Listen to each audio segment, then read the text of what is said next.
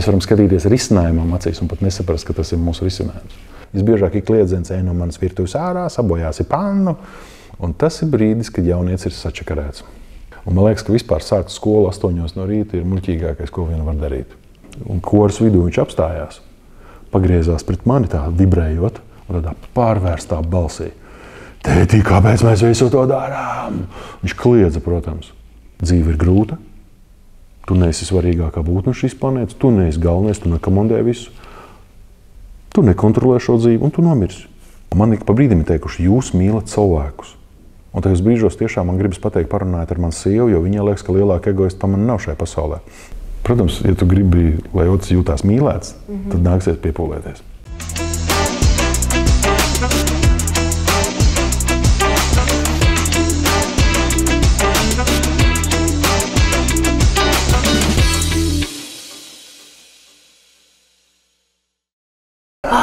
Aleksi, man ir eh, jāsaka, varbūt arī skatītājiem, lai labāk eh, saprotu situāciju. Es tevi iepazinu lekcijā par bērnu audzināšanu. Tu to atceries tā kā bērnu audzināšanu? Jā, tas man palika atmiņā. Acīm redzot, tas man tajā brīdī man bija būtiski. Par ko bija šī lekcija īstenībā? Tad man tā jāprasa, ja nebija par bērnu audzināšanu. Tā, tā bija par iniciāciju, par iesvētību procesiem. Kā puiši kļūst par vīriešiem, kā meitenes kļūst par sievietēm. Un iemesls tam bija kādi baigi foršie cilvēki. Tāds uh, vīrs Oskars Špitskovs Jā. kopā ar saviem draugiem rīkot tēviem, dēliem visādus pasākumus. Un tad vecāki viņiem pajautāja, kāpēc jūs to darat un kas ar mūsu bērniem tur notiek.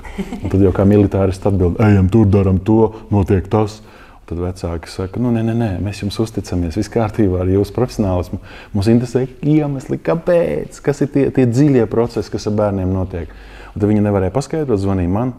Un tad es domāju, nu, Varbūt es varu mēģināt paskaidrot. Un tas bija mēģinājums paskaidrot vecākiem, kāpēc tādi izbraucieni notiek un kāpēc tos vīriešus mēģina atgriezt bērnu audzināšanas procesā. Nu tā.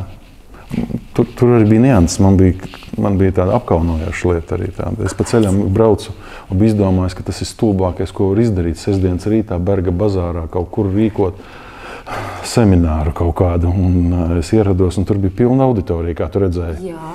Un man tad kauns par sevi palika. Un es sapratu, ka Latvijā tā ir ļoti aktuāla tēma. Ļoti aktuāla. Es par bērniem te varu prasīt. Bet vispār, cik es zinu, ka visiem, kas tevi aicina uz intervijām, uz sarunām, visiem ir problēma ar to, ka neviens nesaprot, kā tevi īsti pieteikt. Uh, misionārs, citreiz saka mācītājs. Um, nu, dažādi tie nosaukumi. Arī var teikt, ka raidījumu vadītājs saknes debesīs vai ne. Es tev neprasīšu izvēlēties vienu titulu. Es zinu, ka tev tas visticamāk nepatiks, cik es sapratu no iepriekšējām intervijām. Bet es tev prasīšu, kas ir tas, ko tu dari, ar ko tu nodarbojies. Opa! Šitā man vienreiz viena mūķene pajautāja. Viņi mēģināja noskaidrot, kādu baznīcu es pārstāvu. Tad viņi pamanīja, ka man ir grūtības atbildēt. Viņi tieši to pašu izdarīja, ko tu. Nē, nē, pat pastāstiet, kāda ir jūsu garīgā prakse. Un tad, kad tu darbībā sapraksti, man liekas, ļoti viegli saprast. Tad, kas ir tas, ko es daru? Jā, kas tas, ko tu dari? Jo saprotu, dari tu ļoti daudz ko, bet nu, tu vari droši minēt vairākas lietas. Es ļoti mīlu stiprus cilvēkus. Bet saprotot to, ka arī viņi sadeg, Viņi nodara paši sev pāri un dažkārt nerealizē ne savu potenciālu, ne sapņus, ne idejas, neko. Tad tas, ko es daru, es cenšos atrast veidu, kā viņus mīlēt un izdarīt visu iespējamo, lai viņiem izdodas. Tā ir mana pamata nodarbe, ko es daru. Vai arī reizēm tiem, kas šaubās, palīdz iet pāri ierastā robežām. Tas ir mans iemesls, kas man dod, tas mans mandāts, teiksim, tā, kas man dod tiesības elpot šīs zemes skābekli. Labi, bet kur tu to dari? Tevi aicina, vai tu pats atrodi? Es dažu to dažādās jomās visbiežāk aicinu. Mm -hmm. Tas tās caurvējš man patīk. Es to saucu par vilkli vai caurvēju. Tā ir tāda mistika, ko grūti paskaidrot. Nāk dažādi cilvēki, un tu nokļūsi neiedomājamās vietās. Vienu brīdi esmu biznesa pasaulē, pat bez kaut kādas baigas dziļās biznesa pieredzes, pēc tam tā arī uzrādās. Tad parādos kaut kādā izglītības jomā, kur man liekas, man nebūtu tiesības atrasties, bet nē, es tur nokļūstu. Pēc tam es nokļūstu starp mediķiem, man liekas, tur es vispār neko nesaprotu. Bet viņi saka, nē, mums vajag to, kas jums ir.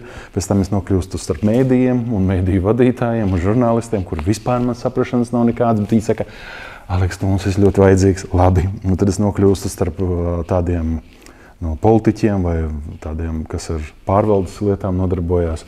Un tad tur tā, tā bija bišķiņa, un uh, es nonāku dažādās jomās. Un pārsvarā mans mērķis ir vadītāji, bet es vienkārši satiekos ar cilvēkiem. Man ir bijuši gadījumi, kad skolotāji tiešām man sauc uz kafiju, un viņi man saka, tiešā tekstā, Aleks, jūs esat teicis uz izsaukumu. Pat nesen man bija žurnālistiem darbiņš, tāds retrīts nedēļas garumā, ko rīkoja Zviedru augstskola un vēl daži cilvēki saistīti ar to. Un man teica vienu lietu, Aleks, viss, ko mums no tevis vajag, lai tu būtu tētis viņiem. Nu, tā ir atbilde. Es veidojos kā tāds papucis. Man gribētos jā, tajā kaut kā kļūt par tādu. Kaut kā tā. Jo es, dom, es esmu pārliecināts, ka tā ir dievišķākā stratēģija pasaulē, kur šobrīd ir milzīgs deficīts. Ir. Jā, tāpēc, ka cilvēki ir noguruši no sintētiskām lietām, no manipulācijām. Izdarīsiet tā, notiks tas. Ja jūs gribat pārdošanas uzlabot, izdariet tā, paskatieties tā, galviņu nolieciet tā, uzdodiet šādu jautājumu, un notiks jums tas. Nu, kaut kā nogurst, agrāk vai vēl, viss sāk atpazīt šīs lietas. Bet gribu kaut ko īstu. Un viena no īstākām lietām ir tās tēvu un bērnu attiecības. Jo agri vai vēlu, nu, kaut kā tā, meitām, puikām, trakot vajag to tēti. Mm -hmm. Viņu ļoti vajag. Nu, ja rēķina aptuveni, es ceru, ka es nekļūdos, bet kaut kādi 54% bērnu aug bez tēviem. Vairāk kā pusi. Nu, tad varam izdarīt secinājumus, kas rada valdībā problēmas, biznesā problēmas, medicīnā, izglītībā problēmas. Kas ir tas, kas notiek, kad tēvs nav klāts? Vai pat īstenībā varbūt viņš fiziski ir, bet nu, droši vien pārējais nav, kas varbūt ir nepieciešams nu, ir, ir kaut kāda tē, tē, tēva telpa, ko mēs redzam. Mums jau nav jābūt super-puper izglītotākiem, bagātākiem, muskuļotākiem, attapīgākiem, nezinu, vēl kaut kādiem pārcilvēkiem. Mums bērnus jāielaiž vienkārši mūsu telpā. Ir. Jo man ļoti patīk savā laikā gan mācītājs Rūbens, gan arī Ričards Rors savās grāmatās izcēla to labo piemēru par veciem zīloņiem Āfrikā. Mm -hmm. Es pagājušā vasarā aizbraucu, aizlaidu kā misionārs arī uz Keniju tādā cerībā, Āfrika, dzīvnieki, viss tas būtu forši miskas. Ja, ja gribas sliktu dušu dabūt, aizbrauciet uz Āfriku. Tur redzi reāli miskasti, kuru ir izveidojuši tie paši eiropieši arī kaut kādā ziņā. Tad tur ir tas, tas, tas stāsts par tiem, ka, to, ka tie ziloņi sāk nogalināt cilvēkus, kropļot bērnus un ārdīt veselus ciematus. Un viens nevar saprast, kāpēc. Tad at... ziloņi tā parasti nedara. Ja? Nedara ziloņam vispār tā nav raksturīga darīt. Mm -hmm. nu, vienīgi, ja kāds stulbs mednieks uzprasās problēmu, viņš arī bietē dabūna. Bet tur ir tas stāsts par to, ka uh, tas testosterona līmenis ir tik milzīgs, nu, ka viņi nezina, ko to darīt. Tas izpaužās agresijā, un vienīgais, ko viņi saprot, viņi skrien. Un tā, viņi kaut kur pa ceļam gadās ciemats, noslauka no zemes virsmas, sakropļot cilvēciņus. Tad tas risinājums bija baigi labais, un es viņu paņēmu sev. Es neesmu autors tā ideja. Es tik ļoti sapriecājos par tiem cilvēkiem, kas vispār to izdomāja. Ka viņi nu atrada vienu vientuļu vecu zīloni, atveda, nolika jaunu zīloņu vidū. Tad, nu, protams, grūstīšanās ir, agresija joprojām putekļi ceļās gaisā. Bet viņi ar vienu acu skatās, jo Majoko dara vecais zīlonis. Viņš vienkārši ēd un kustina ausis. Tas ir viss. Un vēl trešā lieta ir, par kuru varbūt arī pat Nerors nerunā nekas, bet to, tas bija mans novērojums. Ir trešā lieta, kas tiem tēviem, tiem zīloņiem, jeb opīšiem arī vajadzīga. Ir. Viena lieta ēst smuki, kustināt ausis skaisti. Un uh, trešā lieta ir jādzīvo ar pārliecību, ka tu esi labākais zīlonis pasaulē. Šis ir elements, kas vīriešiem ir pazudis. Nu, pavēro no pirmās klasītes puikām. Zvans nozvana skolā, puikas skrien ārā koridorā, ko viņi sauc. Kas pēdējais tas bāba. Mm. Mūsdienās saka savādāk, kas pēdējais tas Kirkorovs. Nu tā. Un, kāpēc to čaļi dara? Tāpēc, ka viņam svarīgi ir sacensties, izdarīt kaut ko pārāku, un tas rada to sajūtu. Un, ja tu tur dabūji savu nožēlojumu trīnieku, četrnieku matemātikā, patiesībā nevis tajā vietā, tajā vietā lai teiktu, debils, tu ir jāpriecājās svētki, jātais. Džekam ir nožēlojamais četrnieks, bet krūtākais viņa dzīvē. Pušiem vajag dabūt šo sajūtu, jo tad, kad viņi izaug lieli, šī pārliecība ārkārtīgi radikāli maina viņu dzīvesveidu. Tas ir tas, kas notiek tajā vīriešu telpā. Kad meitas vai dēli nonāk vīriešu telpā, tur notiek viena unikāla lieta, kas ir atkarīga no tā, vai vīrietim ir šī pārliecība, vai viņš ir foršākais zīlons vai nē. Un, uh, es, iespējams, es nezinu, nu, cik tas šādi raidījumi ietvaros, bet um, 69. gadā pagājušajā gadsimtā Norvēģija atklāja naftu. Viņi taču nesaprata, ko pat darīt ar to naftu. Šobrīd mēs sakām, Norvēģiem tur augstākās algas, var, iespējams, varbūt Šveicē vēl ir augstākais labklājības līmenis. Šī tā tāda pārvēršas par tādu labu Latvijas reklāmu uz Latvijas simtgadi. No tā.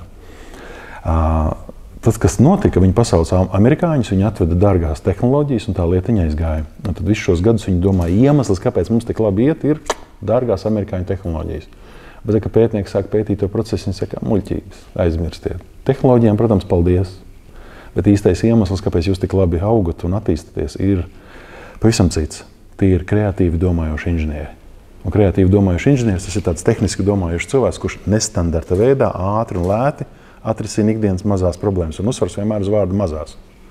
Ko Latvijā visbiežāk cilvēki grib darīt? Kā tev liekas?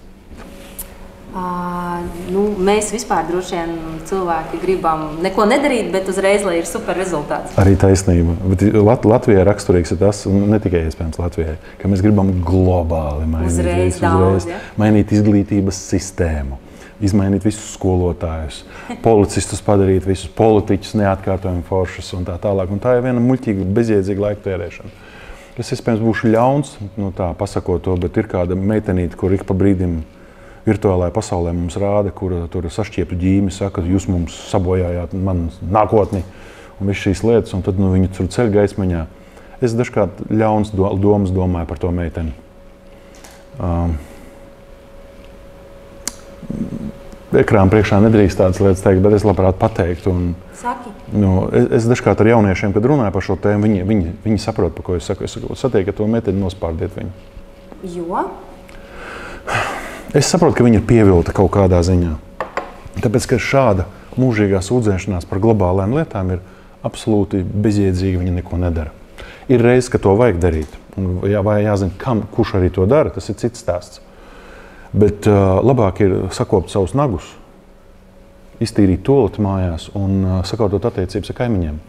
Tas būtu daudz jēdzīgāk, tāpēc ka tas patiešām kaut ko maina. Mēs neticam tam, bet ir jānotic tām mazajām pārmaiņām, mazajām ikdienas, maza solīša pārmaiņām.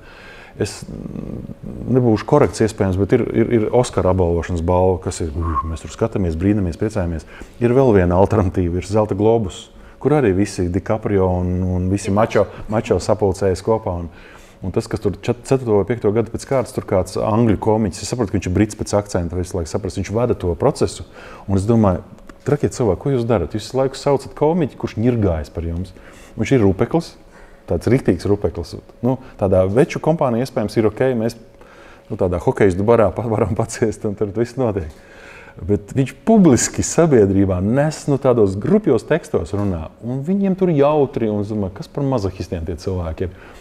Un es nebūtu izturējis to visu skatīties, ja nebūtu viena nianse. Viņš vienā brīdī, protams, pārfrāzējot saviem vārdiem, ja gribat, varat griezt ārā šito, bet es, Es ne, es, ne, es neesmu autors šim visam. Viņš uzrunā viņus, tos aktierus, kurus tik ļoti sabiedrībā ciena un apbrīno. Un viņš saka, darbie, foršie mīļie aktieri, ja jūs dzirdat savu vārdu, ka jūs izsaucat saņemt balvu, lūdzu, nākat uz skatu, pasakiet paldies mammai. Pasakiet paldies saviem kolēģiem, pasakiet paldies savam dievam un tinieties dirst. Es domāju, beidzot viens pateica. Tāpēc, ka katram aktierim liekas, ka viņam jāuznāk uz skatuves un jāpasaka super, super globālās lietas, un tagad viņas pēkšņi baigi mainīsies. Tā ir tā raksturīgā lieta, ko dara aktieri visbiežāk. Tas ir bezjēdzīgi. Foršāk ir atbraukt un kaut kādu vienu lietiņu mainīt, nākamo vienu lietiņu. Un tagad atgriežoties pie Norvēģiem. jā.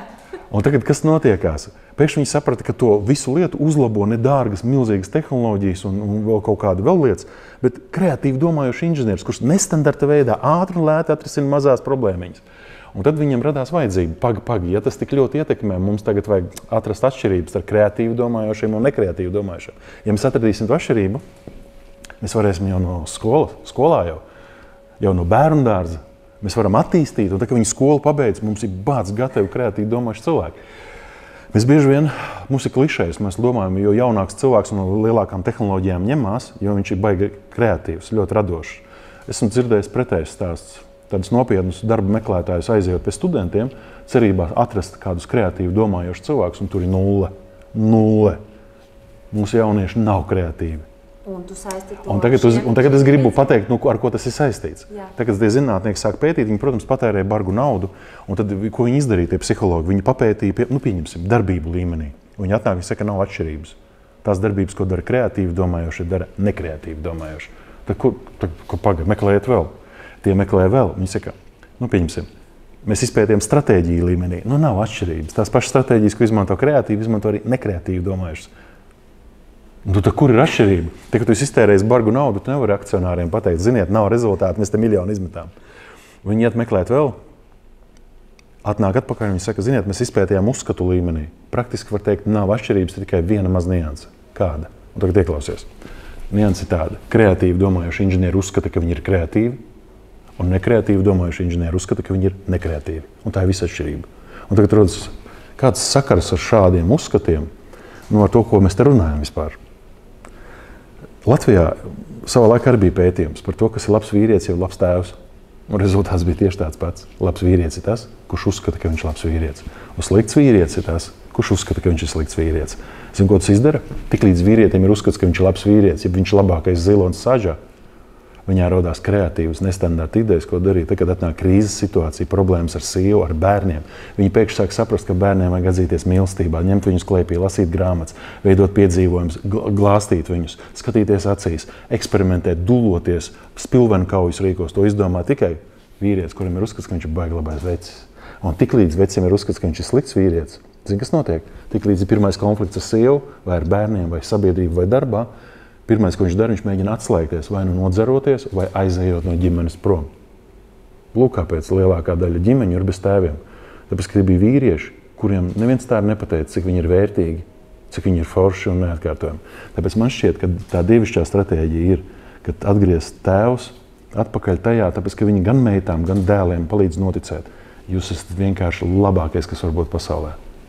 Jo tiklīdz it sevišķi puišiem parādās uz šāda doma galvā, Mēs, mums būs sabiedrība pilna ar ļoti kreatīvi domājušiem cilvēkiem. Mums nevajadzēs domāt par pas, pa, pasaules līmeņa aizņēmumiem, pastāvīgi un vēl tādām lietām, par korumpētiem politiķiem. Mums vienkārši būs superīgi veči ar uzskatu, ka esmu labākais, un viņam radīsies līdz ar to baigi labās idejas. Māziņas šķietam, bet ļoti vajadzīgas, lai kaut ko uzlabotu un atrisinātu.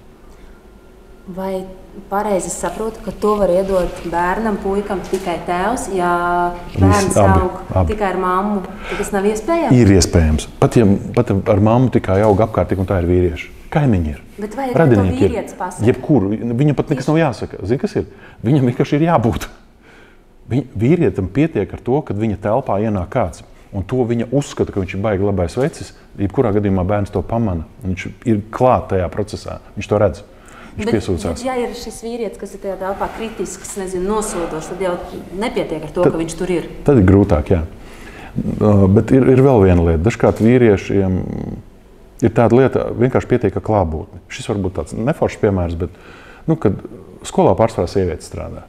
Un tiklīdz kolektīvā kaut viens vīrietis parādās, viņš jau neko gudru nav pateicis, neko sakarīgu nav izdarījis. Sievietes jau mirkšķina astiņas un tādā, tādā īpatnējā gaitā sāk staigāt. Nu tā, tad viņš ar klātbūtni jau ir maina procesu. Tā kā bez pārdzīvojumiem. Pat ja mēs daudz ko neēdzam, pietiek ar vīriešu klātbūtni. Tāpēc, ka mums jāmāk darīt trīs lietas - ēst, kustināt ausis un vienkārši dzīvot ar uzskatu, ka esmu labākais zilants pasaulē. Lai cik vienkārši tas izklausītos.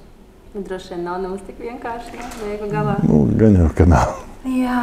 Bet e, es e, zinu, un tu pats pastāstīji, ka tu strādā, nu, strādāji jau tā teikt, skolās. Tu kaut ko tur dari. Ko tu īsti tur dari? Arī strādā par ziloni? es iespējams par ziloni. Jā. Šādi cilvēki domā, ka esmu lielais motivators, un tas sauc nomotivējiet. Tad es saku, papā, stop. Es esmu demotivators patiesībā. Jā. Es dodu pendeles. Man, nu, es neticu tam, ka visu vajag cukurot un saldināt, un patiesībā zobi no tā bojājas un krīt ārā. Un tas nav vajadzīgs. Nu, nu, tā, mums ir tādas godīgas sarunas ar jauniešiem. Kā tas izpaužas? Es atnāku un pasaku, nu, kaut kā, kaut kā, tas skelets nu, ir. Nu, tas, tie, tas skelets ir runāt par iniciāciju, bet to, to muskulatūru, ādu un kosmētikas apaudzēju ar. Tī, tā ir mana pieredze. Mm -hmm. Tā ir mana pieredze, kā, es, kā man iet ar maniem dēliem, kā iet man pašam ar sevi. Uh, Un tur nav viss tik vienkārši. Un tad to jaunieši parasti ļoti vērtē un ciena. Un parasti foršākais ir, ka process beidzās un viņi nāk pa vienam runāties. Un sarunas ir visinteresantākās. No pilnīgi kosmiskām lietām līdz pat nu, kāds atnāk un pasaka, nu, man ir nu, tādas lesbiskas tieksmes, ko man tagad darīt, vai tas viss ir ok, kā man tagad izdzīvot ar to visu. Un nākas uzklausīt, un es saprotu, ka viņam nav ar ko pat runāt. Vispār nav ar vienu. Tad, tas ir mans uzdevums. Viena lieta, es tur du, du, du, du, nododu pa smadzenēm, un otra lieta, es viņus uzklausu.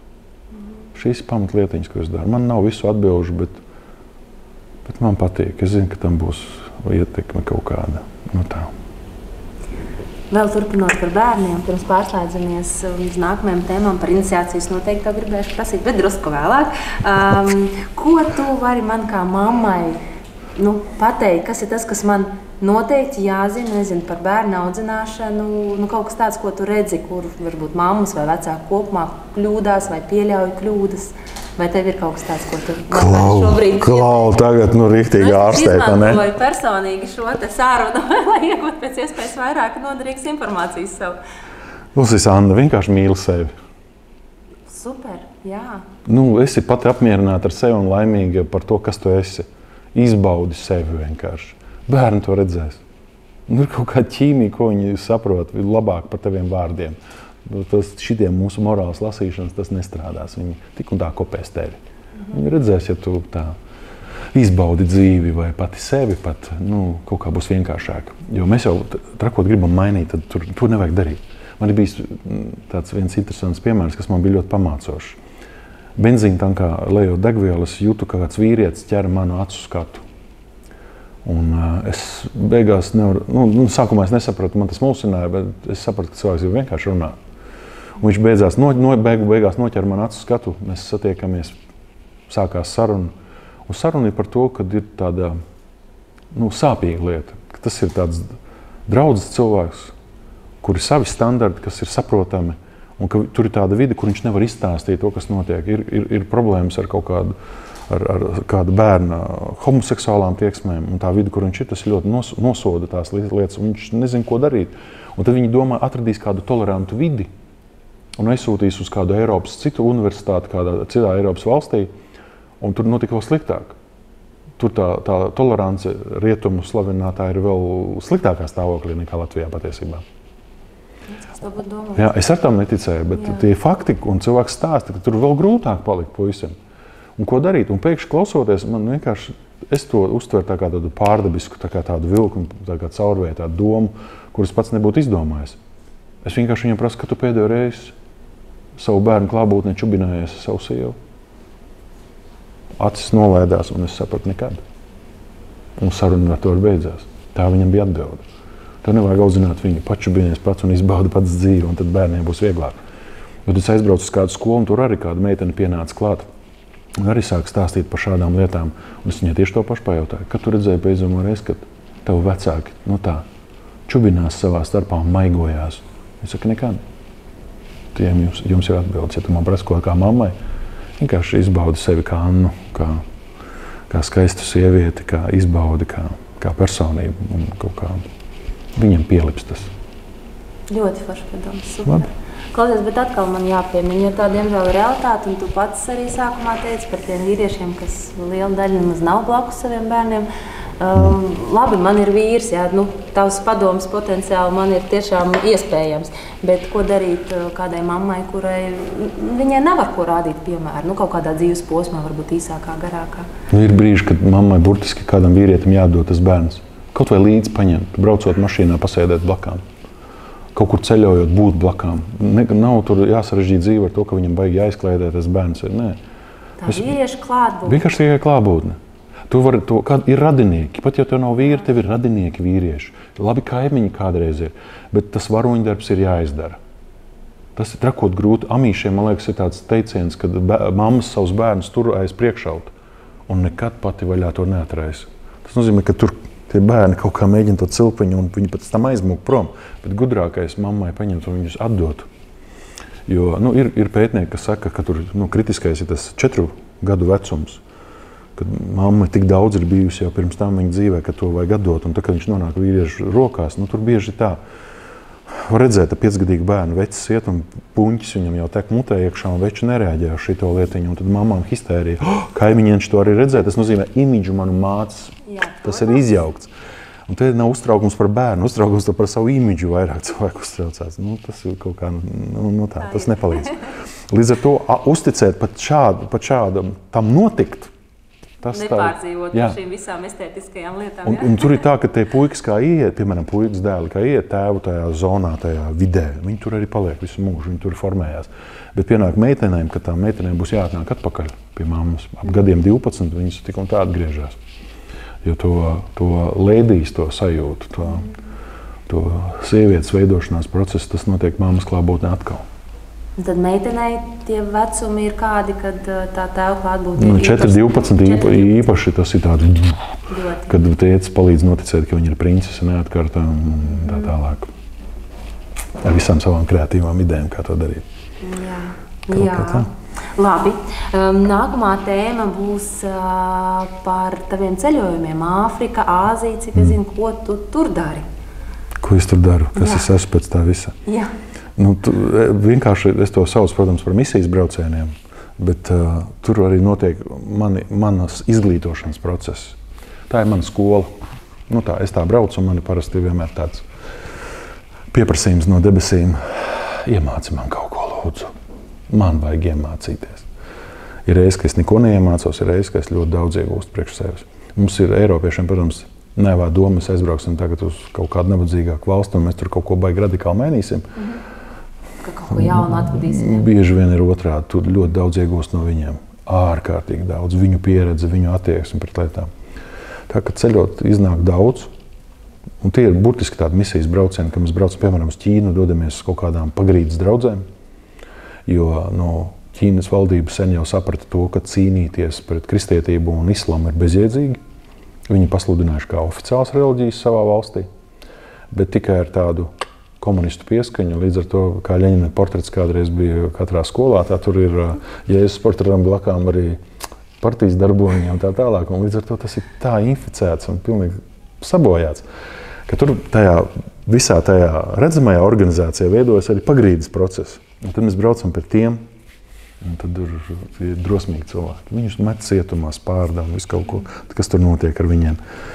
Un tas, ko mēs darām, mēs braucam pa ciematiem, augstākos, mazākos kalnos. Un tas, ko organizējam, organizējam bērniem, pusauģiem, jauniešiem pasākumus un mācām, piemēram, vecākiem organizēt viņu dzīvi.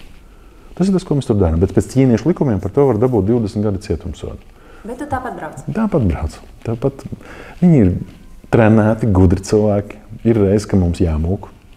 Tiešām. Jā, pasaka acīs, tiši džungļos, jūs esat stulbi turisti, fotografējat visu. Un tad mēs laižamies. Un tēlojat, ja? Nu, jā, un, jo nedrīkst. Jo ārzem, ārzemnieks vispār nedrīkst tuvoties bērniem. Tas, viņi ir sapratuši, ka tas ir tas vecums.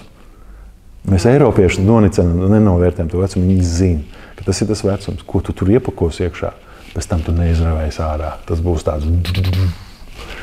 Tāpēc nu, es, es tik, ne tik daudz ar pieaugušiem, tur vairāk ar bērniem. Nu, ko tu, tu tur viņiem liec iekšā? Pavadu laiku ar viņiem visādas jautrības, dūlības darām. Visādas radošas lietas, visādas procesas organizējam. Burtiski ir, ir diena, kur ir interesanti nodzīvot. Mm -hmm. nu tā. Tas ir tas pārsvarā, kas tur notiek. Protams, tas viss notiek tādā kristīgā mērcē, ne bez tā, jo tā, tā, tā mana pamatpārliecība ir tāda, ka nu, kad ir viens dievs un ir viens viņa sūtītājs. Nu, mana dzīves kvalitāte ir atkarīga no tā, cik es to viņus pazīstu. Nu, tā. Un tas ir tas, ko es tālāk nesu. To, ko es esmu iepazinis, sapratu, kas man ietekmēs, to es tā, to baktēriju izpratu tālāk. Nošķaudos kādreiz tā jaudīgāk, inficēju pārējās. Un tad dodos tālāk. Protams, tur ir citas valstis, tur ir Nepāla, kur ir ceļš pēc zemestrīces. Tur ir tādi paradoxāli visādi procesi. Tur var līķi gulēt uz zemes, tur var ūdens pazust. Elektrība bieži pazūd, bet Wi-Fi ir vienmēr. Viņam pat akumulātori stāv istabā kādā stūrī, un lai darbinātu tikai Wi-Fi. Es domāju, bāc! Nu tā. Globalizācija, ne? kas tas ir? es nezinu, kas tas ir, bet viņi uztur kontakts ar apkārtni. Vai uz, piemēram, uz Kambodžu laižam, kur joprojām reāli kainieki mīnas sprākst un bērniem brauks kājas norauj nost. Vai uz uh, Mjamnu, -hmm. bijušo Birmu. Ir dažādām valstīm taizemi. Tāpat par Krieviju, Sibīrijā, Grūzijā, kaut kur Kenijā, Āfrikā. Viss kaut kur ir braukāts. Un kas ir tas, ko tu iegūsti? Tu minēji, ka ir ceļojumi, kas ļoti daudz tev devuši. Nu, iespējams, viens no lielākajiem iegūmiem. Viņi tam man baigi grūti ir īsi, grūti ir īsi paskaidrot, bet Jā. var mēģināt. Man, man bija tā vilšanās sajūta, ka es visu kaut kur braucu un neko īsti nesaprotu priekš sevis. Sev, man, tā kā Aleksei. neiegūst. Nepālā un Katmandu tajā brīdī bija tāds krīzes moments. Man ir kāds svešs cilvēks satiek, kurus nekad mūžā nav redzējis. Es esmu iedomājies, kā sveši cilvēki sāk sarunu savā starpā, kad viņi satiekās. Nu, es tā iedomājos. Mana pirmā saruna ar svešinieku bija tāda. Viņš ieraudzīja mani, viņš saka, mums tikko bija valsts apvērsums, mums nogāza karali, mums šobrīd ir konstitūcijas pārstrāde, mēs esam pilsoņu kara robežas. Otrs jautājums - kafiju gribi? Nu, nu svešinieki tā nerunā. Es domāju, kāpēc man šis svešs cilvēks vēl ne uz redzēšanos, ne labdarīt, jau sāk šī tāda informācija man gāzt virsū. Pēc tam es aizlidoju uz Taizemi. Un tajā dienā, kad es ielidoju Taizemē, nomira viņu karalis. Un es ir nonācu, es nonācu, es tur ir sēras. Un turpat himna var sākt skanēt restorānos, pat cilvēki cēlās augšā, liek roku uz sirdi un dzied himnu. Es domāju, pats kāda godināšana cilvēku. Laikam ļoti ietekmēja šo procesu. Pēc tam es aizlidoju uz Kambodžu. Arī kāds nomira. Tur ir trakāk. Es atceros no skolas laikiem, kā mums stāstīja par tādu varoni kā Palpotu, kurš tur tās komunistu idejas nesa. Ja tu tur tagad pieminēsi vārdu Palpota, mazi bērni pat noraustās. Jo Palpota 72. gadā uztaisīja valsts apvērsumu, kā rezultātā 20 gadu laikā viņš iznīcināja pusi savas tautas. Tev varēja nošaut tikai par to, ka tev ir brīlis uz acīm, ejot pa ielu. Tāpēc, ka tā ir pazīme, ka tu lasi grāmatas, un tu esi domājošs būt un bīstams cilvēks. Un, uh, pat, pat, viņam pat galvaspilsētā šobrīd ir muzejs, kas ir taisīts no īstiem cilvēku kauliem. Patīk, ka sataisu pasi, un ik pa brīdim kaut kur lidostās tev iespiež vīzu iekšā, un tu lasi tur Kingdom of Cambodia, un arī Nepālā. Pēc tam Jamnā tas pats notikās. Un es atbraucu mājā, un man pielēc. Es domāju, bāc, es to nebūtu pamanījis, es to nebūtu sapratis, es par to pat domāju, nebūtu. Domājis tajā virzienā nebūtu. Mēs dzīvojam republikā. Latvija ir republika, kas izklausās labi, bet ir savs mīnums, mīnus tajā visā. Mēs dzīvojot republikā, nekad nespētu un nespējam saprast jēdzienu valstība. Un, visi šie mo- un es saprotu, ka pasaulē ir tendence, kur mirst monarhi, pazūd monarhi, viņi tiek, tiek izdzēsti bez mazvai. Tas nozīmē, ka tiek zaudēts modelis, lai saprastu būtiskāko, ko tāds Dieva sūtītais Jēzus stāstīja. Viņš jau ne- nerunāja par jaunas reliģijas izveidošanu, viņš nerunāja par reliģijas esošās nostiprināšanu, kas ir bezjēdzīga pilnīgi. Bet tas, ko viņš darīja, viņš runāja par valstību. Viņš teica, mainiet savu domāšanu, jo Dieva valstība tūklāta pienākusi. Mēs pat nesaprotam šo tekstu, mēs viņu izmetam ārā, tāpēc, ka nu, kas tas ir, tas jau nav nekas. Jo, piemēram, ja kāds no nu, Latvijas prezidentiem man uzdāvinātu kādu salu Daugavā, to saukt par korupciju. Bet, ja Anglijas karaliene man uzdāvinātu Falklandu Malvīnu salas, zinu, kā to saukt? Dāvana. Jā. Jūt atšķirību. Mēs domājam republikas kategorijās. Mums pat nav saprāšana, ko nozīmē jēdziens. Cilvēki pat lūdz, lai nāk tava valstība kā debesīs, tā arī uz zemes. Un tas ir teksts, burti uz papīra. Pēc būtības iedziļinies, un tu sapratīsi, nu, šis ir mans dzīves kodols. Tas ir tas, uz ko es eju. Es veidoju sevi nu, valstības domāšanu. Mums ir saprāšana, kas ir pilsonis, mums nav saprāšana, kas ir pavalsnieks. Mēs nevi- nevienmēr cienīgi izturamies pret, pret prezidentu, kas mums valstī šobrīd ir. Bet viņš ir cienīgs pieņemt kaut kādu cieņu, godu un atzinību. Bet līdz ar to, jo vairāk diez vai mēs sapratīsim, jo kāda ķēnišķīga persona ieradīsies telpā vai mūsu valstī, kā uzvesties. Nu, izņemot ar neļķiem, pie kādam principam sist sejā. Tas vienīgais, ko mēs esam iemācījušies. Līdz ar to uztvert Dievu kā ķēniņu un viņa idejas, viņu savu kārtību atvest šeit uz zemes, tā mums ir sveša un dažkārt pretīga un nesaprotama. Tad tas ir tas, ko es gribu mainīt. Tas ir tas, kas misijas braucienos ar mani notiek. Es tur to mācos. Tie man ir spikerīši. Tā man ir skola, es tur mācos. To, ko es Latvijā nevaru iemācīties, es iemācos tur. Paņemu to, un tad es sāku mm, domāt, uzdot sev visādus godīgus jautājumus. Un viena no pamatdomām ir valstība. Es gribu to saprast. Un es esmu tāds slepenais aģents, kurš uh, realizē šīs lietas katrā no tām sfērām. Vai tas būtu biznesa, izglītība, medicīna, mēdīņa vai vēl kaut kur, kas inficē to. Tas koronavīrus nav tik bīstams kā es. Šo mēs noteikti ieliksim pašaklāmā. Jā. Un esmu pilnīgi pārliecināts, ka Latvija ir tiešām labākā vieta, kur būt, salīdzinoši tiem stāstiem, ko es stāstu. Jo šī ir tā tāda bāze, kur var atvesaļoties, var kaut kādu gaumu izveidot. Tāda visa daba, kas mums apkārt ir, un cilvēki īpaši, kas ir unikāli. viņi veido kaut kādu īpašu domāšanas veidu. Mhm. Jo es cik satieku cilvēku, piemēram, Krievijā, turpat viņi tādā mirkšķina acis un tā uz mums skatās. Viņi mums ir devuši tādu uzticības kredītu, lai ko mēs domājam, ko viņi domā par mums. Viņi ārkārtīgi apbrīno tos procesus, kas notiek Latvijā, piemēram. Tiešām. Jā, pa īstam. Kaut kā tā, tā kad šī ir foršākā vieta, kur būt. Forši. Tu pieminēji Dievu. Man gribās pajautāt, kā Dievs ienāca tavā dzīvē, vai kā tu nonāci līdz Dievam. Nezinu, kā pareizi formulēt. Как такового, такового докатился, я. Вот. Как ты до такой жизни докатился, я. Во. И кто ты после этого? À, lai ko cilvēki mēs kādreiz savā augstprātībā teiktu, ka mēs viņu meklējām un atradām, tas nav iespējams. Cilvēks pēc savas dabas un būtības atrodas tādā stāvoklī, ka viņš nemeklē neko un pat nedomā tajā virzienā. Līdz ar to nu, stāsts par Dievu tas ir vairāk stāsts par sadursmi ar vilcienu.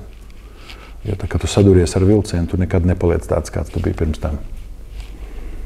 Tas ir aptuveni tā.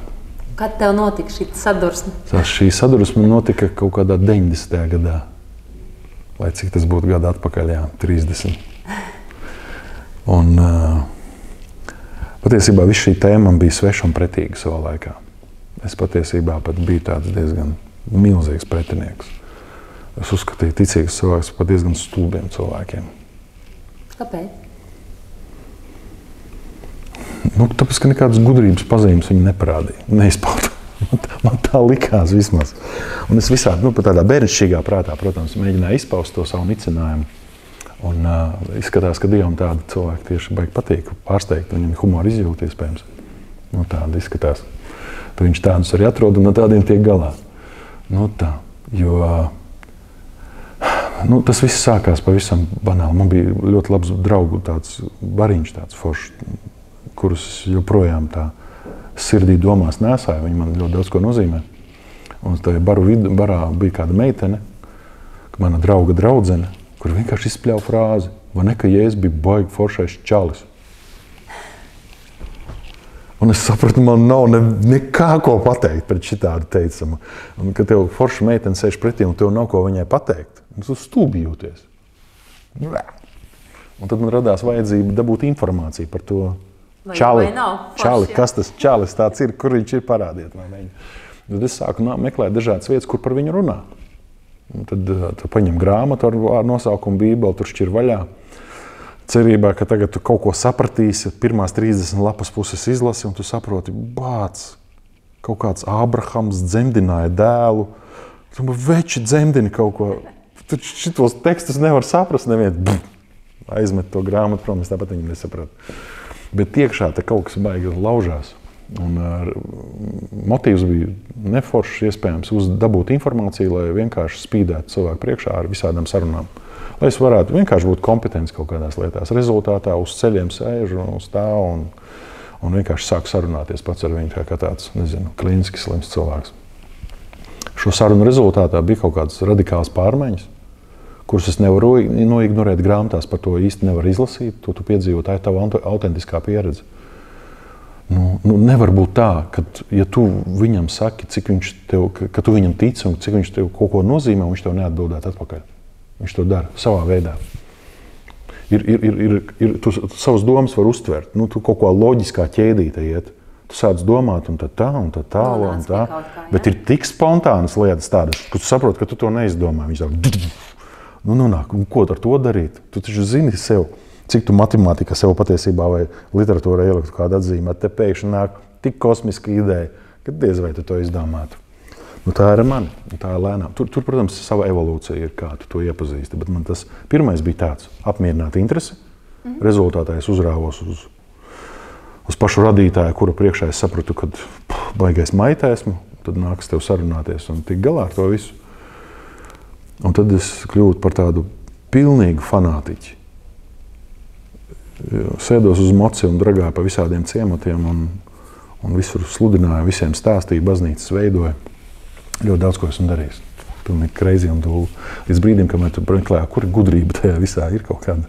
Nu tā, var runāt par superdebesu lietām, bet aizmirst praktisko dzīvi. Līdz ar to tas, kas man ir svarīgi, man ir svarīgi divas šīs sastāvdaļas. Pazīt savu radītāju, jo es to uzskatu par tādu patiesu garīgumu. Zināt savu radītāju un arī mācīt dzīvot. Bieži vien mēs tādā reliģiskā vidē satiksim cilvēkus, kuri trakot domā, ka viņi pazīst radītāju, un ļoti tālu ir no reālās prasmes dzīvot. Tur nesmags no garīguma. Nav garīgums ir ļoti praktisks. Kas ir prasme dzīvot? Tad man jāprasa. Kas ir prasme dzīvot? Nu, sāksim ar elementārām lietām. Ja elementāri izmantot savu, izmantot savu intelektu, lai tu pabarotu sevi, apģērbtu sevi, dzīves vietu izveidotu. Nu, nākamais pēc Maslava aiziesim attiecības veidot. Viss šīs tas ir prātā, ir prasme. Prasme komunicēt, runāt, sarunāties, veidot draugus, iegūt. Nu tā, ģimeni veidot, drošības sajūtu ap kaut kādu veidot, iepazīt sevi, vērtības, apzināties, realizēt, sapņot un vēl īstenot tos sapņus. Tas viss ļoti praktisks lietas ir. Nu tā. Un tas neredzamais resurss ir tikai tāpēc, lai tev palīdzētu. Nu, nu, ja tu sauc raidījumu tuvāk sev, ja? Jā. tuvāk sev, tad uh, te ir mazā pretruna man. Ja, ja es gribu būt tuvāk sev, tad zini, kā ir. Es nezinu, vai tu atceries, kam tur bija Blaumanim vai kam Jāzeps un viņa brāļi. Kam, kam, kam bija tad latvieši? Oh, nu Kurš pārrakstīja no latviešiem? Nu, tā, tā ir bibliska tēma patiesībā. Tur ir bračkas. Viņi redz, ka jaunākais brālis Un viņu mīl trakot tēvs, viņam ir superīgākās drēbes, pērk tur nezinu kādiem brendiem, vecākiem brāļiem nenormālā greizsirdība. Kas tas par čali tādu? Un plus viņš vēl kaut ko nosapņo naktīs, un tad viņš nāk visiem stāsta pie pusdienu galda. Es sapnī redzēju, nedomāju, tur ir vairāk, nu, viņi visi saprot to sapņus, kad viņš stāsta, ka viņš runā par viņiem. Un kad, piemēram, Tur es redzēju kaut kādus labības kūlīšus, un viņi visi nāca pie manis un klanījās manā priekšā. Tad es redzēju sauli un mēnesi, un arī tie klanījās manā priekšā. Mamma ar tēti tā saprot, ka viņi ir tā saule un mēnesis. Un viņš uz to džeku tā ir aizdomājis, sāk skatīties. Un pēc tam puiši aiziet darbus darīt, un pēc tam teica, saka tam super skaisti apģērbtam dēlam, klausies, aiziet nokontrolē, vai tie tavi brāļi labi strādā vai nē. Džeks iet, tie pa gabalu ierauga, eko mūsu problēma nāk. Ko viņi dara?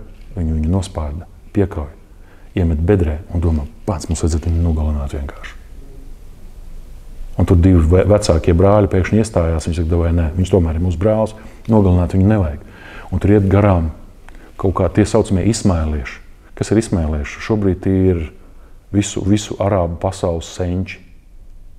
Un viņi pārdod viņiem verdzībā savu brečku. Tie aizved uz Eģipti, pārdod tur un iegūst kaut kādu labumu no tā visa. Un Džeks tu iziet trakas lietas. Tad viņš ir vergs kaut kādā tur namā un uzkopā, un tad tur saimnieks sieva viņam uzbāžās. Un tāpēc, ka jauns džeks viņam patīk šausmīgi, bet viņš arī no tās tiek vaļā, viņš tiek apsūdzēts izvarošanā, iemet viņu cietumā. Visas šīs šausmas, kas tur notiek. Beigās cietumā viņš tur kādam sapņus iztūko. Tie izrādās ir kaut kādi cilvēki pie faraona pietuvinātie. Faraons kaut kad uzzina, ka ir viens sapņu tūkotājs, ir kaut kādi pārdabiski procesi. Arī grib, arī grib pie sevis pasaules. Un tas dod superīgāko sapņu tulkojumu, kas izglāb visas valsts ekonomiku. Tie ir praktiskie risinājumi, ja tu prasīji. Jā. Tad tur ir tevi pārdabisks resurss, bet tu nes praktiskus risinājumus. Un beigu beigās viņš kļūst par otro cilvēku pēc faraona. Un visur apkārt sākās bats, tieši tā kā sapnī bija redzēts. Un tagad viss nāk, un arī viņa ģimenes cilvēki, brečkas, nāk pirkt labību pie viņa. Bet tagad atcerieties pēc vēstures, kā eģiptieši izskatījās. Viņi bija uzkrāsoti parasti, attiecīgas galvas segas, un viņi pat nepazina, ka viņu priekšā stāv viņa brālis. Un tāpat arī mēs varam skatīties kaut vai dievam acīs un pat nesaprast, ka mēs viņam skatāmies acīs. Mēs varam skatīties risinājumam acīs un pat nesaprast, ka tas ir mūsu risinājums. Līdz ar to, kamēr tu nesaproti, kas ir tas radītājs, tu nesaproti, kas esi tu. Ja tu gribi saprast, kā būt tuvāk sev, tev jābūt tuvāk viņam. Un vienā brīdī, vienā brīdī Bračka izdara vienu lietu. Viņš noņem galvas segu, nos, noslauka nost visu savu kosmētiku un savu zelta pulveri, ko parasti lika tādas paaugstinātas būtnes kā viņš. Un Bračka skatās. Bet tas taču ir mūsu brālis. Un tiklīdz viņi saprata, kas uz tā troņa sēž, zin, ko viņi izdarīja? Viņi saprata, kas ir viņi. Viņi saprata, ka viņi nav ubagi, viņi nav nožēlojami klejotāji. Viņi ir karaliskas ģimenes pārstāvji. Automātiski. Automātiski. Redz, tāpat arī mums ir gribi saprast kā, kaut ko tuvāk sev un saprast kaut ko par sevi. Nu, tā ro rokoties, kāpājoties savā dobītē, diez vai mēs to baigi sapratīsim. Mums ir vajadzīgs tas skats no malas, ko rada tas, kurš ir mūsu autors. Nu, paskatīsimies viņam acīs un pilnīgi sapratīsim, kas mēs tādi esam. Mm -hmm. nu, tā kaut kā. Man nākamais jautājums uh, par līdzīgu tēmu, ko es bieži vien uzdodu daudziem cilvēkiem. Šis jautājums, nezinu, kā tev patiks, nepatiks, bet tāpēc es uzdošu, lai, lai tu zini, um, kāpēc dievam šo visu vajag? Kāpēc šo visu vajag viņam? Pirmkārt, tāpēc, ka viņš ir mīlestība. Viņš ne, nevis viņam, viņam ir mīlestība, bet viņš pats ir mīlestība. Un redz, mīlestība ir tāda, nu, tāda substance, ja tā var teikt kuras būtība ir dot. Un tagad iedomājieties, ja viņš ir viens, tad tā nav mīlestība. Viņam vajag līdzvērtīgas attiecības. Ja viņš ir ķēnišķīga būtne, viņam arī vajag ķēnišķīgas būtnes pretēji. Piemēram, šis būs jocīgs piemērs. Varbūt, varbūt tie, kas Bībelē lasījuši, zina. Dievs vienā brīdī radīja Ādamu, viņš ir viens, un tad viņš dara baigo manevru. Tā ir baigā dievišķā stratēģija. Viņš sūta visus dzīvniekus, un viņš dod viņam uzdevumu dot vārdus. Iedomājieties tādu intelektu Ādamam, izdomāt vārdus. Un tā līdz šim brīdim mēs viņus saucam. Un dzīvnieku pasaulē ir milzīgi daudz sugu un dzimtu un tā tālāk. Un viņš pamana vienu lietu. Visi, kas nāk, nāk pa divi. Kā tev šķiet, viņš sāk salīdzināt situāciju? Es viens. Tie pa divi. Es viens, tie pa divi. Un iedomājieties, Viņam taču bija visas tiesības sev partneros paņemt jebkuru šimpanzi un jebkuru žirafi. Viņš to neizdara. Tāpēc, ka mīlestība pēc būtības izvērdās līdzvērtīgas attiecības. Un tāpēc arī Dievs, ja tu saki, kāpēc viņam to visu vajag, tāpēc, ka viņš ir mīlestība un viņš meklē līdzvērtīgas attiecības. Viņš visu ir radījis, lai sevi atdotu tam un tieši tāpat pretī dabūtu vienu vienkāršu lietu, pielūgsmu. Tas, tā ir tāda miedarbība, turp un atpakaļ, turp atpakaļ. Tā saprotu es to. Un, piemēram, arī nu, pārprastie baušļi, desmit, par kuriem mēs varam, kāds zina, kāds nezina. Un es domāju, tā ir pārprasta tēma. Mēs bieži vien domājam, ka tas ir tāds, tā ir tāda pātaga, ar ko sist cilvēks. Patiesībā tas Dievs, kurš sauc sevi par mīlestību, vienkārši pateica, reku tāda kārtība manī mājās. Redzi, skaties, manā mājā ir viens saimnieks, viens. Tev nebūs galva jālauž, tev nebūs jāmokās, manipulācija nebūs. Ir tikai viens saimnieks, tas esmu es, saproti? Viens. Ieraugi. Un te nav citu elku, nav kaut kādu tuk, tukšu, bezjēdzīgu lietu, kas nerunā. Es runāju, esmu dzīves, un te man tāda kārtība ir. Un viss pārējais lietiņas tālāk, ko viņš attīstīja, kad tur nezog, manā mājā nelaupa, pat neiekāros neko, kas ir tavs. Tu saproti? Mm -hmm. Šajā mājā godina tos, kas ir vecāki. Pat ar solījumu, kad ilgu mūžu tu dzīvos pēc tam. Lūk, tādi paušļi domāt, lai parādītu kārtību, kāda ir viņa mājā. A mēs viņu uztveram tā kā tādu sitēju, kurš tur visu laiku liek justies mums vainīgiem. Nu, nav tā. Kāpēc viņš ir radīts? Tāpēc, ka viņš ir mīlestība un tāpēc, ka viņam vajag dalīties īsumā. Mm -hmm. Daudz man tagad jautājumu jādomā, ar ko lai sāk. Bet, um, ja tu saki, jā, ka viņš nav tāds, kurš tur nosoda vai kaut, kā tur, kaut kādā citā veidā liek mums tur justies slikti vai saka, ja, ja es tā nedari, baušļi tomēr ir. Uh, bet tad uh, nu, ir tāds vārds kā karma, ja, ko sēsi, to mhm. pļausi. Šis likums pastāv. Mm -hmm. Likums pastāv. Ir, ir, ir, ir fizika, ir dabīgi likumi, ir garīgi likumi karma kontekstā liktenis. Jā, mēs kaut kādu likteni veidojam. Nu tā, ko es to pļauju, tā ir taisnība. Bet tu, tu domā, ka ir kaut kāds liktenis jau zināms, kas ar mani notiks rīt, pēc desmit gadiem, un nezinu, pēc 50, vai tomēr man ir kaut kāda arī brīva izvēle? Par šo teologu laušu šķēpus gadsimtiem jau. Jā, nu, bet es ceru, ka tu man tagad dos atbildi. oi, oi, oi. Uh, ir, ir, ir, to ir ļoti grūti pateikt Es iespējams neesmu tādu sirmas matu vēl dabūjis, lai noformulētu īsi un skaidri. Kāda ir tava sajūta? Jā? Bet uh, ir divi veidi likteņi. Mm. Liktenis ar, ar, ar Dievu un liktenis bez viņa. Un tā brīvība, par ko tu prasi, ir tajā, ko tu izvēlēsies. Un ir, ir, pat, ir, ir pat tāds teksts, ka Dievs saka, es tavā priekšā nolieku dzīvību un nāvi, bet es tev iesaku izvēlēties dzīvību, lai dzīvotu tu un tavu pēcnācēju. Ja domājies, viņš padomu veidā, un tik un tā viņš respektēs tavu izvēli. Tāpēc, ja es izvēlos likteni ar Dievu, tad tur ir viss ir tas, ko saimnieks ir paredzējis. Tur viss mans kaut kādā ziņā nomirst, un viņš pat nav man interesants vairāk. Tāpēc, ka nav nekā aizraujošāk, jo tas ir kā bezdibenis. To, nav, to nevar izsmelt. Tas ir tāds, kad ievelk, tad tu aizēji. Nē, nu var arī atteikties no tā, var dzīvot un teikt, es esmu baigais saimnieks. Un lūdzu, cīnīties ar savām depresijām, lūdzu, savus piedotas sačakarētās attiecības labo uz priekšu, veiksmi tev. Visu cīņu, bet tu to izvēlējies. Bet uh, dievam ir ok, arī Jā. tāda izvēle. Viņš viņi ir, viņi, ir, viņi ir sāpīgi. Viņi nav tik vienkārši. Tas ir kā mammai atlaist arī bērnu un tēvam uzticēt. Tas ir tas, tas, tas pats. Tāpēc sievietes dara varoņu darbu tādā ziņā, ja viņas tā var atlaist. Nu, tie bija baigi grūtie brīži. Un, un, un, un, nu, pie, piemēram, es varu auzās tagad galīgās aiziet. Bet tās auzas ir tajā, kad uh, es zinu, ka var tur rasties beigie pārpratumi. Bet uh, man nākas saskarties ar gadījumiem, kur cilvēki, piemēram, pašnāvības izdara.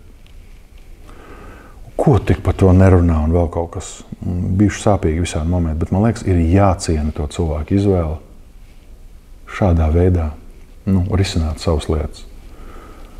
Nepiešķirot tam kaut kādu baigo polaritāti uzreiz. Kas mēs tādi par tiesnešiem, lai tur kaut kā tagad baigi pateiktu, pareizi, nepareizi. Un tāpat arī Dievs. Viņš kaut kā, viņš pat ciena cilvēku izvēli nonākt ellē. Visu cieņu. Man, tas būs sāpīgi, bet tā ir tāda absolūta pieņemšana. Es savu, saviem dēliem to cenšos ļoti izpaust. Viņi dažkārt dara pavisam savādāk nekā es gribētu, un jau vairāk savādāk nekā viņa mamma to grib.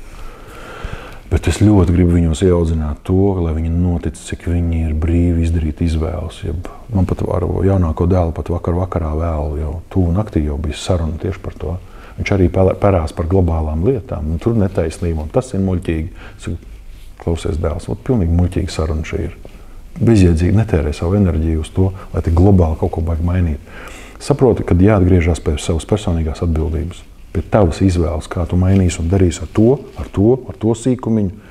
Tas, ka tu tur globāli mēs tev jau paņurcījām kaut kādus politiskos jautājumus, jau kaut kādas netaisnības pasaulē, tam nav jēgas. Jēga būs tas, ja tu pateiksi, ko tu gribi, kādu izvēli tu dari. Tam ir bīstamība. Tiklīdz tu pateiksi, ko tu gribi, tur nebūs brīvības vairāk. Un tā ir pretruna. Moderns cilvēks saka, neierobežojiet manu brīvību. Tad ņem tev, cik viņu vajag. Jo vairāk tev ir neizmantotas brīvības, jo lielāks vārgulis tu esi. Stiprie cilvēki ir tie, kas izmanto savu brīvību, lai izdarītu izvēles un atņemtu savu brīvību. Jo tā, ka tev nav brīvības, tev ir absolūta jauda un enerģija izdarīt jebko. Jo, piemēram, es nevaru būt vienlaicīgi mājās, tagad un šeit. Es izdarīju izvēli atnākt uz šejieni. Man nav vairāk brīvības. Es esmu no viņas atvadījies, bet visa jauda ir šajā sarunā. Un tajā rezultātā, kas būs pēc šīs sarunas. Ar cilvēki, nu, kā apstākļi, sarā, sarā, kā tur mums vai itāļi vai spāņi, kas mums tā runā. Kā būs, tā būs. Nē, nē, nē. Ja tu gribi baigo jaudu, tad vajag izdarīt izvēli un at, no kaut kā nāksies atteikties. Pat geogrāfiski, nezinu, finansiāli. Izdevības varbūt paplūdīs tev kaut kāds garām, bet tava visa jauda būs tajā, kur tu izdarīji to izvēli. Nu, tā. Tas tas, ko es puikām mācu. Man liekas, arī Dievs, viņš, es no viņa to mācos, ka viņš tādu ļauj tādas izvēles izdarīt un ļoti ciena to, lai kāda tā būtu. Mm -hmm. Tu jau iepriekš pieminēji iniciāciju, un tagad arī pieminēji savus dēlus, puikas. Um, par šo gribu jautāt, kā, kas ir šī iniciācija? Ko tu stāsti, kā tas notiek, kas tas ir? Es jau to neizgudroju, es tev tikai tāds, kā lai saka, kopiju pēc paņemt, kā es sākumā teicu, kā skeletu tādu. Bet iniciācija ir, mēs, mēs to Latvijā visbiežāk saprotam. Es vismaz jauniešiem redzu viņu reakciju. Tad, kad tu vārdu saki, iesvētības, ah, saprotam, gošu mutē, milti matos, šis ir mūsu tēma. Juhu! Ir skolas, kur to aizliedz, gimnāzijas, kur to saka nekādā gadījumā. Ir skolas, kur to joprojām atļauj. Manā skolā arī bija. Un es esmu par to, lai atļautu to, bet to, lai nevis pusauģi organizē, bet pieaugušie. Nu, kā tu to dari? Jo pusauģi to dara sadistiski. Nu, jā, jā, jā. Tur ir tāds sadisms. Nē, sadisms arī var būt, bet tikai tad ir tas kontrolēts kaut kāds un arī sapratni, ko tu tur dari. Nu, tad, nu, es nezinu, tāda vesela lekcija nevajadzētu viņu pārstāstīt, bet iniciācijas process tiešām saistīta ar tām trim lietām. Rors par to ļoti labi raksta. Ādama atgriešanās, kur tā grāmata ir ļoti laba lietiņa, kur vīrietim jāstiekās ar visiem iespējamiem spēkiem un jāatrisina Tas ir saistīts ar, piemēram, ar to, ka pēc skolas jaunietis atnāk mājā, vēders burbuļot. Tas ir izsalkums. Izsalkums ir liels spēks. Ir laika, kad cilvēki maizes dēļ kaujās un pat nogalina. Un uh, tad viņš ar mammas Google palīdzību mēģina izdomāt, kā pankūks cept. Visbiežāk pirmie mēģinājumi ir ogle uz pannas un zili dūmi. Un nedodies mamma tajā brīdī ienāk mājās, un tad viņa kā terminators sajūt, no kurienes smaka nāk. Un tad, kad viņi ieraudzīja to, ko viņi ieraudzīja, visbiežāk ir kliedziens, ej no manas virtuves ārā, sabojās pannu. Un tas ir brīdis, kad jaunietis ir sačakarēts. Viņš tikko mēģināja kļūt pieaudzis, lai ēd savas ogles. Un tas ir stāsts arī par to, ka nevienmēr vajag barot jauniešus. Viņam jāizjūt izsalkums. Nu, no kura vecuma? Ai, ļoti individuāli. Nu, jā. to var pamanīt. To, to var pamanīt. Viņ, viņam tas nu, nenozīmē, ka mēs slēpsim ēdienu no viņa. Ne par to es stāstu. Stāsts ir par to, ka viņam jāmāk pagatavot pašam, izdzīvot pašam. Un man ļoti patīk, arī man piemēram, jaunākais dēls sāka Rīgā dzīvot. Un, un viņš arī man prasa, kā to, to pagatavot, kā tu šito to. Es domāju, pats, kā man patīk šie jautājumi.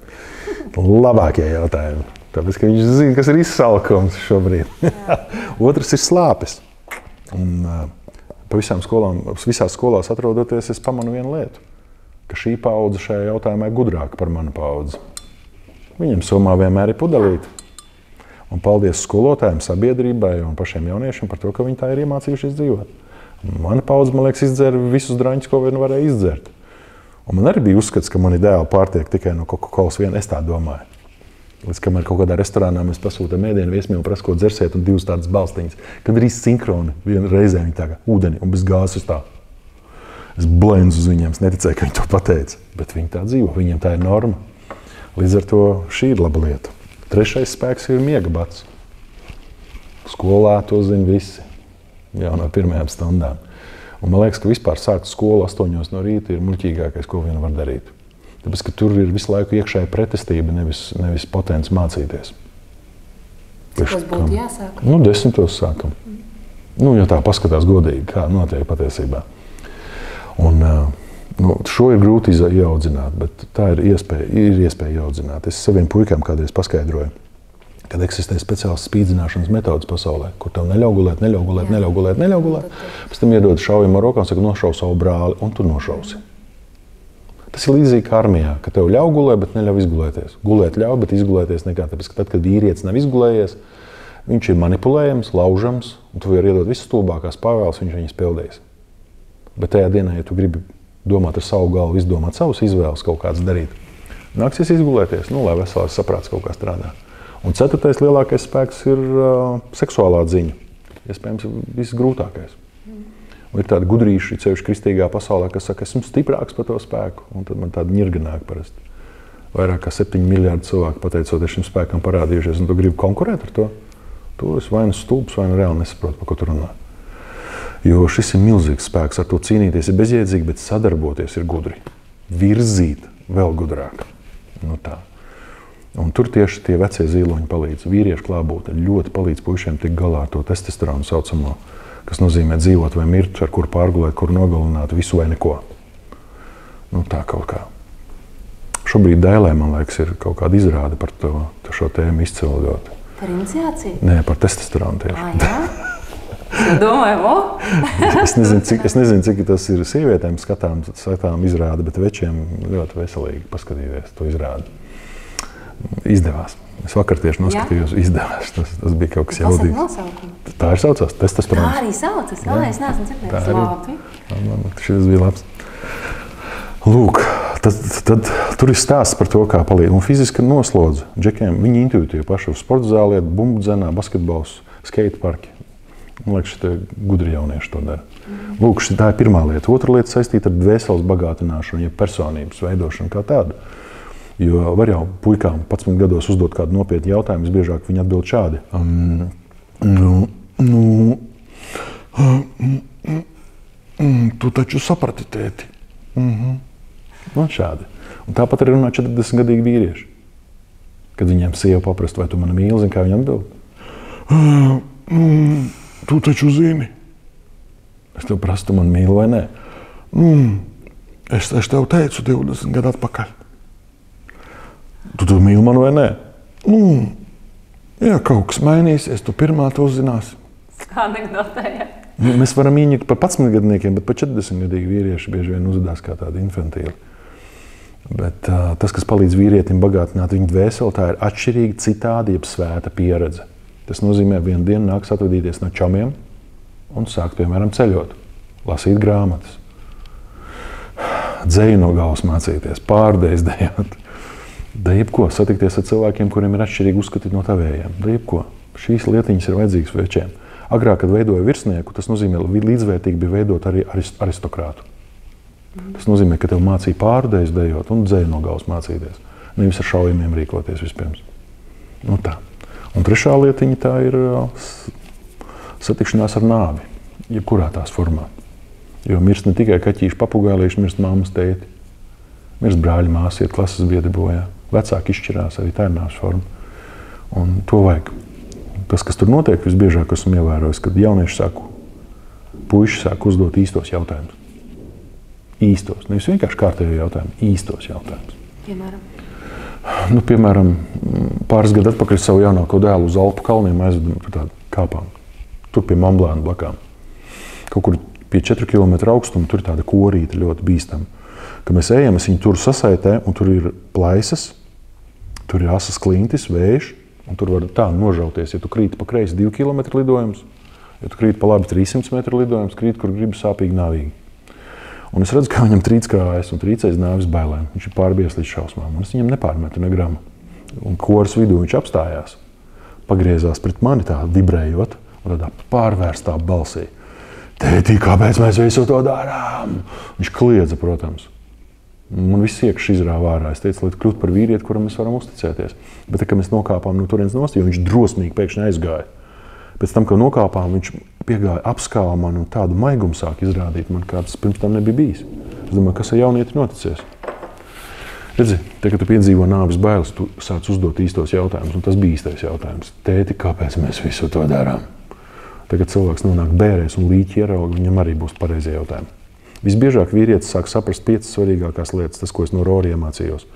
Kad dzīve ir grūta, tu neesi svarīgākā būtne šīs planētas, tu neesi galvenais, tu nekomandē visu. Tu nekontrolē šo dzīvi, un tu nomirsi. Un vīrietis, kurš zina, ka dzīve ir grūta, viņš nav svarīgākais, nav galvenais, nekontrolē visu un nomirs, nu, zini, viņš kaut kā sāk vērtēt katru cilvēku tajā brīdī, kas viņam brīdī gadās apkārt. Diez vai kāds karo par prezidentu, par tautu, par himnu, par nezinu ko. Visbiežāk cilvēki cīnās par to, kas tajā brīdī viņam ir blakām. Jo nav nekā reālāka un vērtīgāka. Nu, to jaunieši iemācās caur iniciāciju. Un tagad iedomājieties tādu čalu, kurš tādu pieredzi ir iegūst un viņa attieksme pret dzīvi. Būtu patīkami un droši. Jā. Nu, re. Tāds arī notiek. Bet tu runā tikai par puišiem, vai meitenēm ir kaut kas līdzīgs, citādāks, vai tu to nedarīsi? Me, meitenēm ir pilnīgi savādāk. Viņām nav vajadzīgi tie procesi, kas mums, kaut gan viņas var darīt tieši to pašu. Var iet armijā, kalnos kāpt, nezinu, policijā dienēt, ja nu kaut ko nav ko darīt. Bieži vien viņš šauj labāk nekā veči pat kādreiz. Kalnos es esmu redzējis daudz izturīgākas sievietes par vīriešiem. Un, bet viņam notiek savādāk. Viņam notiek tīri bioloģiski viņa ķermenī tas viss. Ja večiem tas ir ārējais efekts, tas sievietēm tie ir iekšēji procesi. Visi procesi, kas saistīti ar asinīm, mēnešu reizes pirmā seksuālā pieredze un bērnu dzemdības, tas ir stāsts par sieviešu iniciāciju. Jo tajā brīdī sāk parādīties kaut kas tāds, kas pirms tam nekad nav bijis. To sauc par ierobežojumi. Iedomājieties, jebkura meitene vienā un tajā pašā vecumā ar, ar puisi ir pat divu gadu pārspēja viņa attīstībā. Kāpēc tas tā ir bioloģiski? Kāpēc tas tā ir izdomāts? Iespējams, ka nepieciešamība. Tāpēc, ka, uh, tas slēpjas tajā atslēgas vārdā, ar ko atšķirās meitene no sievietes. Un, uh, tas, ko šie ierobežojumi iemāca darīt, vienalga vai tās ir tie cikli, kas sākās meiteņu dzīvē. Ja puišiem izaicinājums ir testosterons, tad meitenēm ir oksitocīns. Tas nozīmē mīlestības hormons, kas izpaužās vienā vienkāršā vārdā - rūpes unikālais tas potenciāls, kas ir sievietē. Jo kas sieviete, man patīk, ka Rošs salīdzina ar, ar ūdeni. Ar ūdeni var ne tikai slāpes, veldzēt, zupu vārīt, bet var ēst, ārstēt, dziedēt cilvēku, elektrību ražot, uguni dzēst, klintis skaldīt un dārgakmeņus iegūt. Tas nozīmē, ka sieviete nes sevi unikālu potenciālu. Tikai viss, kas ūdenim ir vajadzīgs, ir krasti un gultne. Un gultne, protams, ir vīrietis, kas viņai blakām. Ja vīrietis ir tik sekls, tad tā ir peļķa. Peļķa ar laiku vai nu smird, vai nu izgaist izgaro. Tas ir viss sievietes liktenis. Tāpēc tā ļoti svarīgi, kāda vīrieša klātbūtne sievietē. Ja vīrietis ir dziļš, tad tas potenciāls izdarīs jebko. Kuģi nesīs jau vajag, kuģis ir ģimene bieži. Ja tu strautiņā ieliks kuģi, tad tā, un viss jūsu ģimenes dzīve ir beigusies. Vecis atbildīgs par dziļumu. A sieviete iznesīs dēļu, ko viņa būs laimīga plūst. Kaut kā tā, un viņa tāpat izdzīvo tos procesus savā, savā ķermenī, visu mūžu garumā. Kaut Nu, kā tā. Nākamais loģisks jautājums par laulību un par ģimeni. Tu esi kādā intervijā teicis, ka nu, vislielākais un grūtākais izaicinājums ir tieši ģimenes dzīvē. Man jā. Bet es domāju, ne tikai tev. Es tā pieļauju domu. Nu, bet tomēr 30 gadu laulībā, cik es saprotu, Jā. šobrīd tev. Un, uh, Atkal jau man gribas tomēr tā vispārināt un salīdzināt, jo šobrīd, nezinu, Latvijā, bet man liekas, arī vispār pasaulē šķiršanās procents ir milzīgs, kaut kas ap 70%. Ko lielākā daļa cilvēku dara ne tā, kā to dari tu? Vai kas viņam būtu mums visiem jāņem vērā un jāņem varbūt no tavas pieredzes? Kas ir tas, ko, kur cilvēki kļūdās, ko mēs nepareizi darām? Ui, Anna, es neesmu paraugs un piemērs tam visam. Zinu, ar, uz mani var attiecināt to dīvaino jociņu, kur kādam ilgdzīvotājam, kurš tur 50 vai 60 gadus jau nodzīvoja, viņa prasa, klausies, kas jūs uh, šķirties nekad negribējāt visu šo 60 gadu laikā? Viņš saka, mm, šķirties ne, bet nosist jā. Nu, tad tas ir stāsts par mani. Labi, tas ir stāsts par visiem. Tomēr, nu, es, nu kā, nu, nu, es neticu, ka ir kādas attiecības, kur nav neviena krīze, un kur otrs biežāk vai retāk nebesī un netracina. Un tā tā. Tas ir, manuprāt, nu, normāli. Bet jautājums. Šo visu ņemot, ir cilvēki, kas rekur dzīvo uh, ilgus gadus kopā. Un nav jau stāsts tikai par to, ka nodzīvot ilgi kopā, bet nodzīvot kvalitatīvi. Par to jau ir stāsts. Un cik es tevi zinu, un cik es saprotu, ka tomēr tu kaut kā esi to mācījis darīt. Tu zini, kas ir ar mani ir daudz banālāk un vienkāršāk.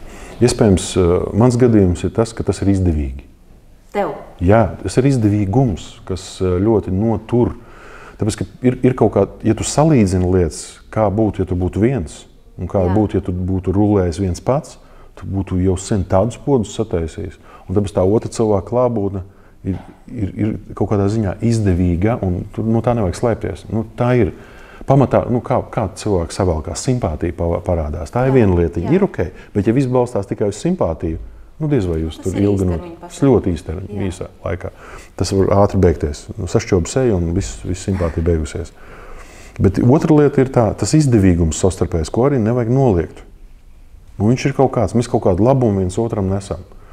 Es lielu labumu esmu dabūjis tādā veidā. Es ceru, ka es arī tādu kaut kādu labumu dodu pretī. Bet, eh, tam, bet tas ir tāds nultais stāvs.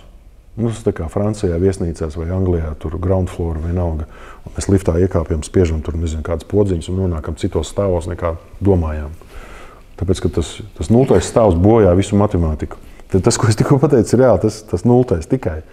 Nākamie stāvi ir pavisam savādāk. Tas ir stāsts par prasmi draudzēties, komunicēt, ielaist sevi iekšā, vispār pašam sevi kaut vismaz pieņemt, nu, kaut kā uzdāvināt tas tam citiem cilvēkiem. Tas, ir, tas nozīmē, tas ir kopīgs mērķis, ka jūs kaut ko radat, pa īstam radat, ar aizrautību vēl pie tam radat. Jūs abi saprotat, vai mākat atgādināt, vai reanimēt, kāpēc jūs vispār sanākat kopā. Kas jums deva kaut kādu pamatu turpināt, varbūt tās. Nu, tā. Manā gadījumā, kas man dod lielu jaudu, to, nu, es to sapratu ļoti vēl tikai. Ir tas, ka kaut kādā mērā, nu, lai kā es domāju, ka esmu baigais vecis un es tagad baigi, baigi mērķiecīgais onkulis esmu, un uz visa tā fona man ir svarīga viena lieta. Man ir svarīgi, lai tā sieviete izvēlās mani. Lai kā viņa man kristu uz nerviem, viņa man ir izvēlējusies. Visus šos 30 gadus nemainīgi. Jā. Man ir bijuši brīži, kad es nospiežu strauji bremzes mašīnu, apstājos un uzdodu jautājumu, vai tu gribi ar mani dzīvot. Un ar atbildi esmu dzirdējis, jā, un es kaut kā ticu tajā atbildē. Mm -hmm. Tāpēc, kad ir tik daudz visādu simpātiju, kādreiz parādās, nav jau tā, ka es neredzu citas sievietes, es viņas redzu, bet neviena no viņām man neizvēlās. Un ko ar to darīt? Labi, es gribēju kaut kādas praktiskas padomas. Piemēram, šis ir praktisks. Uzdot sievai jautājumu, vai tu gribi ar mani dzīvot Labi. Labi, un no, ko darīt, ja sieva pēkšņi emociju uzplūdā, saka nē. Un tad ir jau viss, tev ir viss atbildes. Nu, beidz, nu, taču zini, kāds ir sieviete. Šodien es domāju, nē, pēc stundas es jau varu domāt citādāk. Nu, es saprotu, tas ir jo, joka līmenī. Sievietes ne, ir ne, ne tagad, pēc tam. Jā. Varbūt jā, un tā tālāk tā, tā var tulkot. Bet es, es domāju, ka sievietes nedara sev pāri. Viņas tādos neskatoties uz emocijām. Viņas, nu, mēs sakām, katrā jokā ir daļa joka. Jā. Nu, tajā. Uzplūdā neru ir tikai daļa uzplūda. Vispār patiesībā tā atbilde ir nopietna. Lai kādas tur emocijas ir bijušas. Nu, nu, tāpat cilvēki nepasaka jūt. to. Jā, jā Tieši tā. Jūt, cik tas ir nopietni vai nav. Jā. Nu, es ļoti ticu cilvēku izvēlēm. Līdz ar to es atkārtošos, bet tur nav brīvības vairāk. Mm -hmm. Ja esmu izdarījis izvēles, man brīvība pazūd. Bāc! Un tik, ja mēs turamies pie brīvības, mans padoms ir reāli nepērties par to savu brīvību un vēl kaut kas. Tiklīdz mēs par to darām, Tur nekas, kas tur var sanākt vispār. Nu, sportists, nu, vāc, viņš sev atņem tik daudz iespēju, bet viņš panāk rezultātu pateicoties tam, ka viņam nebija tās brīvības. Mākslinieki tieši tāpatās. Paņem jebkuru jomu, mediķi. Cik viņi mācās vispār, lai tev pielaistu klāt 11 gadu. Viņš ir vācis tik daudz tusiņus palaidis garām. Tur negrams brīvības nav, bet tā viņa izvēle izdarīt to dabūna rezultātu. Ģimenē tieši tas pats ir. Tiklīdz es sāku sev atgādināt, bācis, Aleks, tu esi pelnījis baigo brīvību, nu, tad tur ir viss beigas. Protams, tā, tā, tā, tā ir puiša ar izgājienu. Un tas puisis manī arī kādreiz dzīvo. Es arī mēģinu kādreiz izrādīt daudz ko. Bet uh, kas dod spēku, ir tas, ka es dzīvoju kopā ar sievieti, kura man ir izvēlējusies. Lai vienmēr mēs domātu, ka vīrieši, mēs tā sev sakām, es jau izvēlos. Bet ir vajadzīga arī tā pretējā izvēle. Viņa dod mega jaudu. Tāpēc tā, man liekas, ir sievietes gudrība, ja tu runā par praktisku lietu, kādreiz veciem acīs paskatoties, teikt, es joprojām tevi izvēlos. Pat teksti es tevi joprojām gribu. Mm -hmm. nu, tas dod kaut kādu lietu vīrietim. Mums to vajag. Nu, tā. Nu, arī dabūju, ko gribēju. Mm. Padomu praktiski. Un noslēdzošais jautājums man būs tāds, es arī kaut kur lasīju un dzirdēju, ka tu, tas, ko tu dari, ka tu māci mīlēt cilvēkus. Oh, tas ir grūtākais pasaulē. Jā, Bet, eh, jā, es apzinos, ka tas ir ļoti grūti. Kā tu to dari, kā tu iemāci, kas ir tas, ko tu saki, ar ko tu sāc? Zin, tas ir paradoks, tāpēc, ka nu, tiklīdz, nu, nu, kurienes tas radās? Tas radās tā, ka tad, kad es nonācu biznesa vidē pie dažādiem vadītājiem, nu, piemēram, kaut kur Krievijā vai Latvijā, patās, nu, tu, piemēram, ir kāds vadītājs, kuram ir kādi 100 tūkstoši darbinieki. Un viņš man kaut ko 30 minūtes mēģina stāstīt, ko viņš grib, lai es tur daru. Un tad es apkopoju to viņa domu. Nu, es tā kā jūs pareizi sapratu. Jūs gribat, lai es vienkārši iemācu mīlēt jūsu vadītājiem cilvēkus. Nu, jā, tikai mēs to tā nesaucam. Es zinu, jūs to saucat cienīt. Jā, cienīt ir īstais vārds. Patiesībā pēc būtības viņi grib, lai es iemācu mīlēt. Un, un man ik pa brīdim ir teikuši, jūs mīlat cilvēkus. Un tajos brīžos tiešām man gribas pateikt, parunājiet ar manu sievu, jo viņai liekas, ka lielāka egoista mani nav šajā pasaulē. Tāpēc tur ir pretruna. Man tas ir visgrūtākais. Man pašam lielākais izaicinājums ir mīlēt cilvēkus. Es esmu nenormāls egoists.